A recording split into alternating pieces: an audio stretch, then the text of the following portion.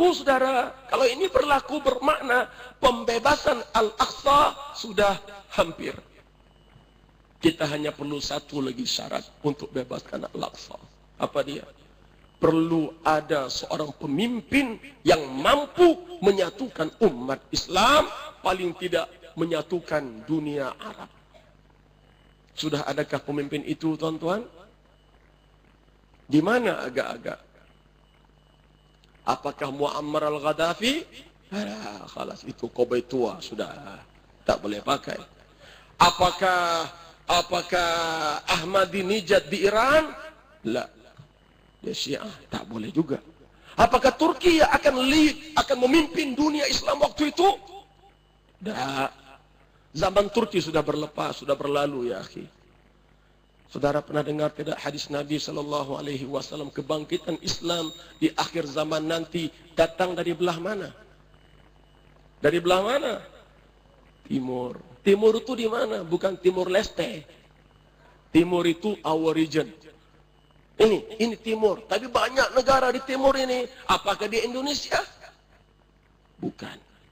Singapura? Oh jauh. Brunei? Lambat langat. Apa? Thailand? Filipina? Atau kalau tanya saya, saya kata dia ada di Malaysia. Sudah adakah pemimpin itu, saudara? Tanya saya, saya kata, iya, sudah ada. Pemimpin itu sedang disiapkan. Dia sedang melalui series of trials, ujian. Dia sedang diuji satu peringkat ke satu peringkat yang kalau calang-calang orang menerima ujian itu sudah lama binasa. Tetapi dia seorang yang kuat.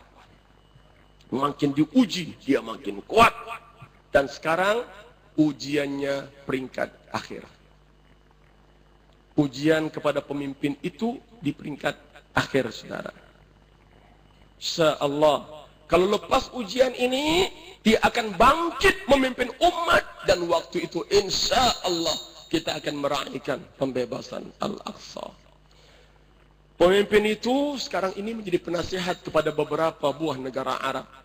Leading Arab countries. Bukan negara Arab yang miskin-miskin. Negara Arab yang kaya-kaya. Saudi, Dubai, Emirates, Abu Dhabi. Ya. Dia menjadi penasihat kepada beberapa buah negara Arab. Dia juga dihormati di barat dan di timur. Dia boleh bercakap soal Islam di pentas antara bangsa. Orang hormat pendiriannya. Orang hormat ketegasannya. Dan orang hormat prinsip agamanya. Tidak lain, tidak bukan. Saudara Anwar Ibrahim, saudara. Saya melihat puzzle itu sudah nggak siap, saudara. Cuma, bilakah ini akan berlaku?